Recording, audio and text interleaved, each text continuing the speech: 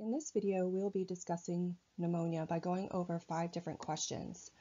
I will read the question for those listening, pause to give you a second to access your brain and what you remember, read the four options, and then we'll discuss. This is just a surfaced overview of pneumonia. If you need more in-depth information, you can refer back to your nursing resources under the categories respiratory and or infection. We're also going to review a little bit of pharmacology, There'll be some questions on amoxicillin and super infection. There's also going to be a lot of select all that apply in this group, so if you want to practice that, definitely watch this video. But before we start, I do want to just have you refer to the picture and remind you what exactly pneumonia is.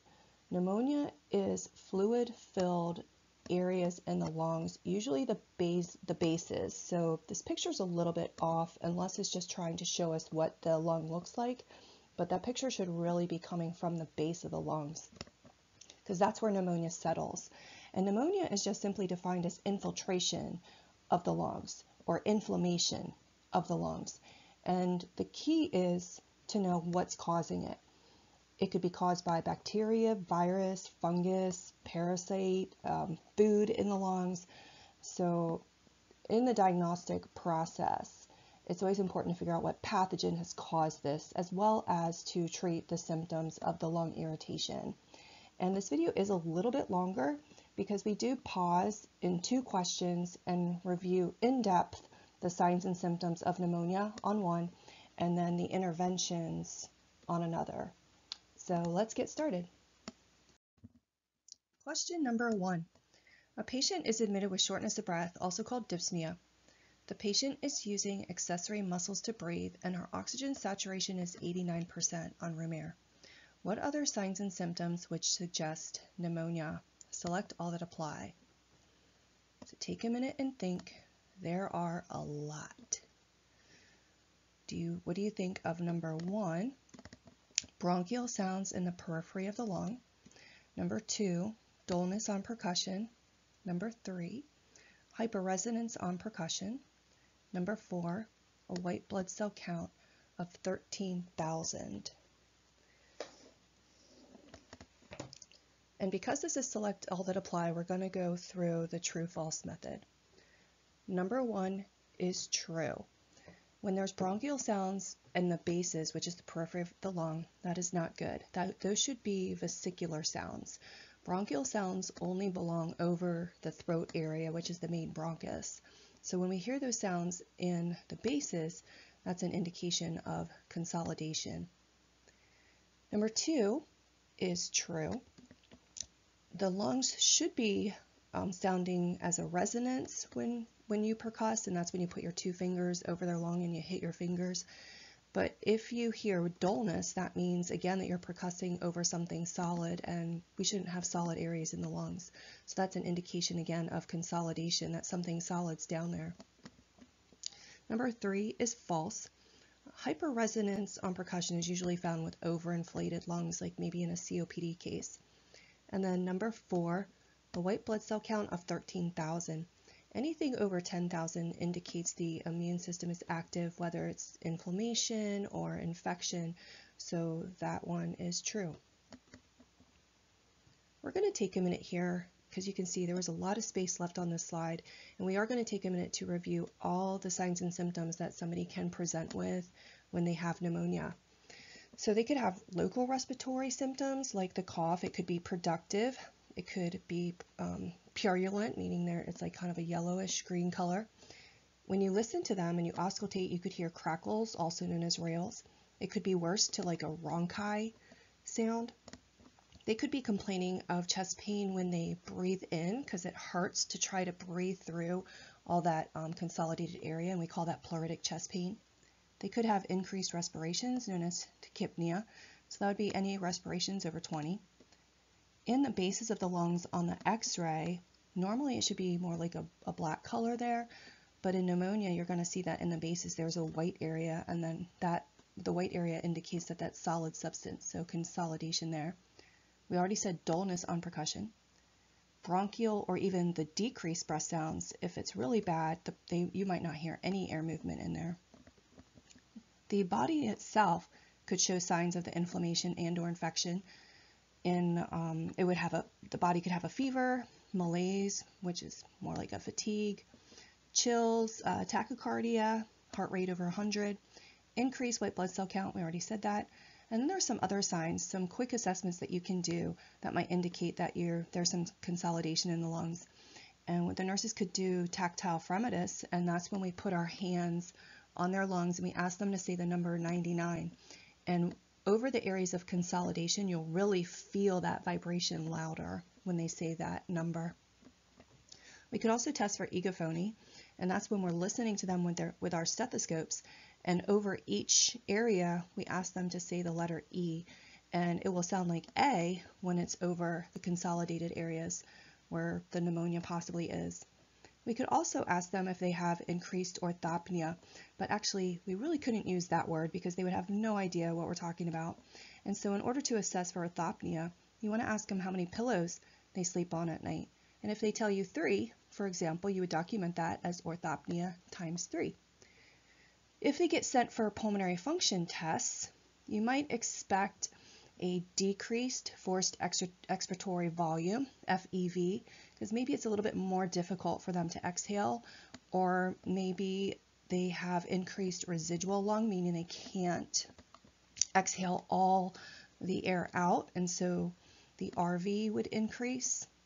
And usually those are more significant in older adults.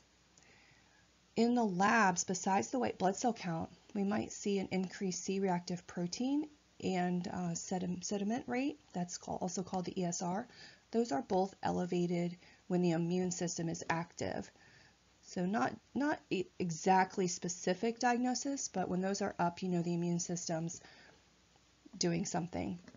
And if it's really bad, you could have a possible respiratory acidosis if uh, CO2 is being blocked and they can't exhale very well. So if you had a hard time with that question, again, the answers were 1, 2, and 4. It's a great idea to review the pneumonia signs and symptoms. I mean, please take a screenshot of this if you need to to review it. Listen to it again. And one other thing before we move on is just remember the presentation in older adults is a little bit different. They may not have a lot of the signs and symptoms I just mentioned, and that's because older adults have older immune systems. And when your immune system is not able to respond you might not get that fever. You might not get that cough because that's all an immune response. And therefore, in an older adult, when they get pneumonia or any infection, they usually present with a mental status change. They might fall. So if you see that in your older adult, that mental status change, that kind of, they even might describe it as, I just feel off. Go looking for a sign of infection. Maybe, maybe it is a pneumonia. Maybe it's a UTI. But just know in older adults, you're really not going to have the same presentation. Cannot depend on a fever in an older adult to show you any, any kind of infection. Number two, a client gets a pneumonia after being in the hospital for three days. The nurse knows the patient was infected by a pathogen in the hospital. Which type of pneumonia would the nurse expect the patient to be diagnosed with? Is the answer number one, Streptococcus pneumonia, number two, Pseudomonas pneumonia. Number three, Pneumocystis carinii pneumonia. Or number four, pneumococcal pneumonia. The answer here is number two. This question really wanted to make you remember the differences in pneumonias. And in this one, if the patient did not get sick until day three, we have to subtract two days to consider that that's when he was infected because you remember from our infection infection lecture that it takes like two days in that incubation period for somebody to then become symptomatic. So that means he was actually infected on day one when he was already in the hospital because this is now day three. So the thought was that the hospital acquired pneumonia is responsible if the patient becomes symptomatic more than 48 hours after admission because we have to think about it took two days for that incubation period. And therefore, that's how the nurse knew that the client was infected in the hospital. And the problem with that is that the bacteria that is spreading and around in the hospital are usually the resistant ones, and therefore are the most dangerous and the most difficult to treat. If you had a hard time with this question, it's a great idea to review the different types of pneumonia. HAP, CAP, HCAP, opportunistic ventilator-associated aspiration pneumonia, and viral pneumonia. So we just said what HAP is, some other examples of pathogens that live in the hospital that people get infected with besides the Pseudomonas. Um, aspergillus, uh, all your resistant bugs, your MRSAs, uh, that I have a hard time saying that one. And the community-associated pneumonias, CAP, are the ones that we just kind of hear commonly. You might hear your friend say, oh, I got diagnosed with a walking pneumonia or something like that. You know, those are usually from bac bacteria that we see in the community like strep or pneumococcal. HCAP is an interesting one. That stands for healthcare associated pneumonia. So in this one, the patient got infected with a bad bacteria because it is associated with the healthcare um, personnel or facility, but they just weren't in the hospital. So just think of other places where people come into contact with either healthcare personnel or it's a healthcare facility. So maybe a home health nurse came to their site, came to their home and they got sick afterwards, or maybe they were at like an infusion center or a, a rehab center. That would be an example of HCAP. Opportunistic, the example in the options, that one is PCP pneumonia. Opportunistic pneumonia is pathogens that are usually very weak pathogens, meaning they're out there, but they're so weak that our bodies fight them off very easily and they don't infect us. So those bacteria are really only going to infect people with that are immunocompromised, like maybe your HIV patients, your AIDS patients. And that's why we call them opportunistic because they finally have the opportunity to infect somebody. Now, when I say they're weaker, easier to treat, it might not be easier to treat in the person that's already immunocompromised, but they're the ones that will get those.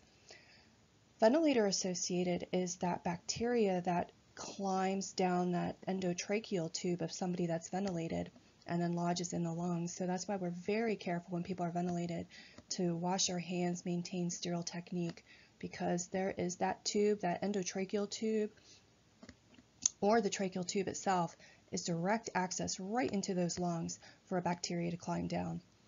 Aspiration pneumonia happens when somebody accidentally aspirates, meaning something gets into lungs like food or something, and then it starts to grow a bacteria or cause inflammation. That's aspiration pneumonia. And then, of course, we have our viral pneumonias. Those are probably going around a lot considering I'm recording this during the winter. We've got a lot of flu going on, COVID, uh, RSV, and any of those can also decide to kind of lodge and infect in the lungs and cause a pneumonia as well. So hopefully that helps you review your different types of pneumonias. Again, it's important to know what pathogen is causing this so that the doctor can tailor the treatment to what it is, whether it's bacterial or viral. A four-year-old is admitted with complaints of shortness of breath and an oxygen saturation of 90%. Based on the x-ray, the client is diagnosed with pneumonia. The doctor has ordered the patient to start a broad-spectrum antibiotic, amoxicillin, which is common to treat children with pneumonia. What does the nurse need to ensure before starting the medication? Select all that apply. Is it number one, check the patient for allergy to penicillin. Number two, Assess the patient's kidney function. Number three, make sure the sputum specimen for culture was sent. Number four, recheck the oxygen saturation level. Since this is a select all that apply, we're going to go true false. Number one is true. You have to remember that amoxicillin falls under the category of penicillin, and therefore it's important to check for an allergy. Number two is false. Uh, penicillins don't typically affect kidney function. You might have been thinking about aminoglycosides, gentamicin or vancomycin if you selected number two. Number three is true. It's very important before we ever start antibiotics, antibiotics, it really doesn't matter what infection it is, even UTIs, that you have to send the specimen for culture. So in this case, it's the sputum specimen because if you start antibiotics before you send off that sputum specimen, the culture results could be skewed. Number four is false. um, there's no reason here to recheck the oxygen level. Plus, on tests, we usually don't redo the assessment data that's already given. And the question asked about what do we need to do before starting the medication. So make sure you're really looking at the question to um, think of your answers. So if you had a hard time with this question, make sure to review what your duties are before administering antibiotics. Question number four. A client is admitted with pneumonia. The nurse would expect to implement which of the following interventions? Select all that apply. Would you, number one, have the patient sit high Fowlers? Number two, encourage the patient to use the incentive spirometer once a day. Number three, increase the patient's fluids to help liquefy his secretions. Number four, apply oxygen 2 liters nasal cannula as needed. And again, this is a select all that apply, so we're going to go through true, false. Number one is true. It is best to have them sitting um, high Fowlers, definitely upright. It helps them expand their diaphragm and get the most breath. Number two is false. Be careful here. We do want the client to use the incentive spirometer, but it's not once a day. Remember, you can't pick an answer that is part false. That once a day makes it false. Incentive spirometry should be done every hour while awake. Number three is true. We definitely want to encourage him to drink fluids. It'll help to liquefy his secretions, then it's easier for him to cough those up. And then number four is true. We can apply 2 liters nasal uh, cannula, some oxygen as needed. So 1, 3, and 4 are true. And again, there's a big space here. You might want to take a screenshot of this one. Uh, we're going to go over all the interventions for pneumonia. There's a lot. And so some of the other ones are to make sure that when you are giving this oxygen that you humidify that because oxygen is very drying and it could cause more secretions if you don't humidify that, especially anything over six liters. Try to keep the oxygen on the cooler side. That helps decrease any inflammation in there. We already said sitting upright. Uh, chest PT is when you cup your hands and kind of you know, just cup, smack their back a bit with your cupped hands and it helps them cough things up already said to increase fluids. Remember, normal fluids is 2 liters, so you want to try to increase, at least them do 2 liters, if not more. Uh, cough suppressants like dextromethorphan, expectorants like guaifenesin are great for them. The incentive spirometry, usually do it 10 times every hour while awake. Same thing with coughing and deep breathing. Turning them every two hours, it helps change where the drainage is bronchodilators like albuterol, ipratropium, definitely get them up and get them moving around. If they can't walk around, at least get them up out of bed every shift. If it's okay with the doctor, of course. Antibiotics, if bacterial, um, pain control, because remember they can have pleuritic chest pain. Just be careful if you're giving them an opioid because that can cause some respiratory depression. Uh, Tylenol, acetaminophen is also great for pain and great for fever. Just a quick note, make sure you don't give them any more than four grams a day because then there could be issues with the liver. So that's a quick review there. There's a little picture of an incentive spirometry in the corner with a guy using it too. And so if you need to review those, please do. Last question, number five. A patient is receiving antibiotic ther therapy for pneumonia. She needs two weeks of IV antibiotics. The nurse knows the patient is at risk for the following condition due to the antibiotic therapy. So what comes to your mind that could happen when somebody's on antibiotics? Is it number one, hallucinations, number two, resistance, number three, superinfection, number four, recurrent infection? And the answer here is number three. The thought was to think about when somebody's on IV antibiotics, it's a few weeks. Normal flora in the body, so like normal bacteria yeast that we just have that doesn't cause us problems, but that can tend to overgrow and cause things like yeast infections, or if you're familiar with C. diff, Clostridium difficile, which causes diarrhea. And so we're going to keep an eye out for that. And so the answer is number three, and if you need to review your super infections, what to look out for when somebody's on antibiotics, then good idea to look at how you would treat them as well. Well, that's it. Hope you enjoyed this content on pneumonia. It was a little bit longer because there was a lot of signs and symptoms associated with pneumonia and interventions. But if you like this content, subscribe to our channel for more and find us at sinestrategies.com.